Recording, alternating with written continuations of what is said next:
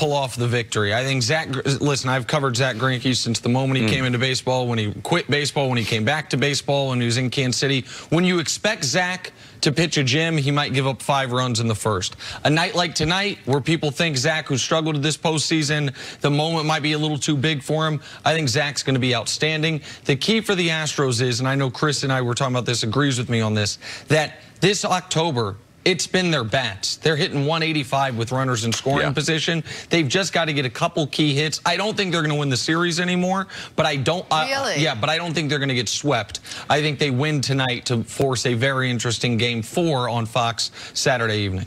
Nick, I think the young Nationals might struggle, even though they have the home crowd. That atmosphere is going to be electric. And them not having the experience, I do believe that the Astros, because of what they've done the last several years, it will help them tonight get through it. All right, let's move on here. We'll get to the Browns and the Patriots in a second, but first, look, Rockets, Bucks. Giannis hunting down James Harden with the vicious chase down block. Oh, there we go. See, you were, you were asking who else is in the chase down block category other than LeBron. Giannis went and got it. Oh, immediately. This is the best rundown guy in the NBA. Not history, but he's working on it. He's uh-huh. young. He's up and comer now. High flyer. I like it. How about this? Hawks Pistons. Alex Len misses the layup. John Collins is there for the putback slam over Andre Drummond. All right, I, I watched this whole game. Thank you, NBA League Pass. These Atlanta Hawks are frisky now. John Collins, interesting player. Trae Young, second most points in his career, 38 for the young fella. Hawks could, maybe, possibly be a playoff team out east. Hey, Nick, you told me about Trey. I was a little suspect about his yep. size, but man, he's going to be awesome in year number two. Yep. Oh, my goodness. Ooh. Australian Pro League former NBA player Aaron Brooks misses the layup. A future NBA player, LaMelo Ball, is there to clean up that miss. You see how long he is, see? Kid's a true six eight, even with the new NBA regulations on how you measure him. Uh, he's a true six eight. I'm so happy that he's getting his form back over in the Southern Hemisphere. And it takes a long time for that growth spurt for him to get used to the coordination, everything. All he needs is a decent jump shot, Nick, and he going to be all right. Thursday night football, Washington taking on the Vikings. Stefon Diggs hauling in the catch on the sideline with the classic toe drag. See you like this here? Yeah, he just knew I was in the building. He was just trying to show off. I talked to Thielen before the game, told him I was so disappointed. He's my favorite player and not playing. Diggsy told me he was going to pick it up after three weeks ago complaining. Him and Kirk Cousins were able to work it out. Vikings still on a roll. Diggs has been on an unbelievable streak. At the very beginning of this game, had a big play. He fumbles the football. After that, he really didn't make many mistakes.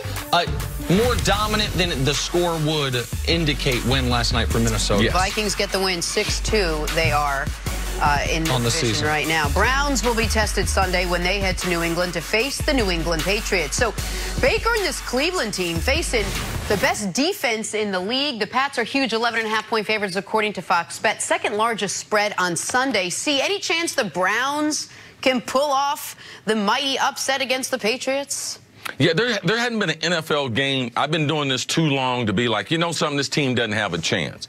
All 32 teams do have talent, but these are the things that are going to have to happen. They're either going to have to score on special teams or they're going to have to score two defensive touchdowns. You can't rely on that offensive line, given the pressure that New England has put on every team the first seven games.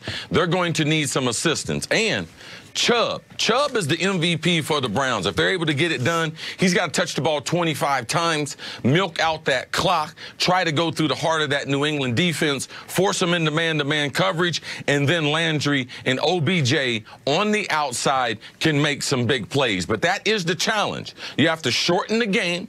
You have to win time possession. You have to Baker has to have a clean game, no turnovers, but that defense has to create several turnovers and I want to see a couple scores. And Nick, you challenged the guy. I used to do a segment when I worked for another network called Where You At? When a good player used to disappear, we used to put like the spotlight on him. And Myles Garrett, the defensive end who got off to a fast start last couple weeks, not the productivity. If he is on number 12 in Tom Brady, the chances for the Browns are real realistic. But this would be one of the biggest Browns wins in a number of years, Nick. So, Cris, I have not obviously been doing this as long as you, and I am not afraid to say. Yeah, but this, you've been covering it long enough I not to i be stupid. I right, but but I still am one that will occasionally say they got no chance. This game's over before it starts. defensive scores, non-defensive scores, lightning strikes. But that's not how I feel about this football game. I think hmm. the Browns have a viable path to victory. I think the Browns, there, there's a few things that have to be noted. One is the schedule the Browns had a bye week. The Patriots played on Monday. You're never going to have a bigger discrepancy in time to prepare than what you have in this game right here with Patriots on a short week and the Browns having the week off. That's first of all. Second of all, the Browns offense, if you look at it on a per play basis, is a top eight offense in football. They're seventh in the league in yards per play. So why are they outside of the top 20 in every other main category? Because they keep turning the ball over. Because they don't they don't get into the red zone enough. They don't score enough points. They don't be they don't accumulate enough yards because Baker's been a turnover machine. Obviously, they have to play a clean football game. I don't think what the Patriots did against Sam Darnold and the Jets, I don't think you can do that effectively against the Browns because Beckham's there.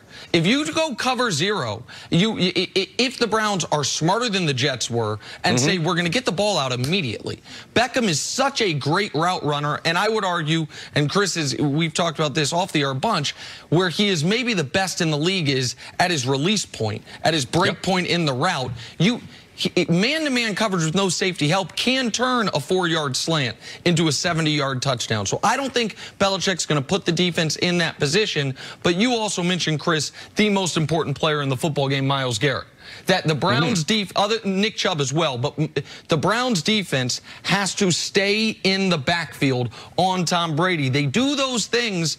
I think they could win this football game. Also, this is without question. No matter what we think of the Browns, this is the best team the Pats have played this year, other than the Buffalo Bills. And the Buffalo yes. Bills were in that football game throughout and only didn't win the game because they had a pump blocked for a touchdown. So I, I would be surprised if Cleveland won, but it wouldn't be the monumental upset that I think the point spread indicates it would be. I, I think. Yeah.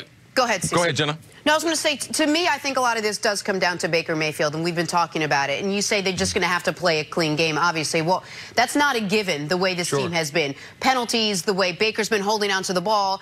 Belichick knows that the minute Baker has to rush out of the pocket or the Baker the minute Baker is, is sort of throwing on the run, he's really inefficient. Isn't that going to be the key for them? I mean, making sure that Baker is uncomfortable throughout the game? There is no doubt, Jenna. Nick and I both had uh, very valid comments and everything, but there, there is no path to victory unless Baker Mayfield. We're trying to move it other ways because we can't depend on Baker. The turnovers have really hurt this defense. The defense also hadn't had their starting corners be able to play so they can put a lot of pressure on the opposition. But Nick, back to your point as far as what the Jets, it's a classic example of New England. If you watch the Jets game, in the Browns game, they're going to do something totally yep. different than what they did in the Jets game. You can't play zero coverage against wide receivers that the Browns have because you get too many yards after the catch. If you make one guy miss, then you could be off to the race. They didn't have any respect for Sam Darnold and him seeing ghost and the wide receiving core of the Jets. They do have respect for OBJ and Jarvis Landry and Baker Mayfield's overall arm strength. So watch how they rush the minimum, drop seven or eight trying to force Baker Mayfield into making mistakes. But if that is the case, obviously Baker's going to have to, for the first time all year, not turn the ball over. He's six games, all six he's had a turnover. Half of them he's had three turnovers. Maybe they can survive one turnover from Baker Mayfield. Against the best uh, defense. Well, maybe, but they certainly cannot survive a multiple turnover game, which is why I put an enormous amount of the pressure on this game on Freddie Kitchens. Listen, man, Freddie Kitchens got this job. He got got elevated all the way from running backs coach to offensive coordinator to head coach. Why? Because of his game planning, because of the rapport with the offense and with Baker. This has to be a Nick Chubb centric game plan. And when no five step drops, certainly no seven step drops, boom, boom, boom, out right. quickly. Neutralize the pass rush that way because that's that is going to be the the way Baker has a chance to play a clean football game. But I, the Browns have been disappointing. but and they have not lived up to my expectations certainly. But they still do have the talent that we talked about in this offseason.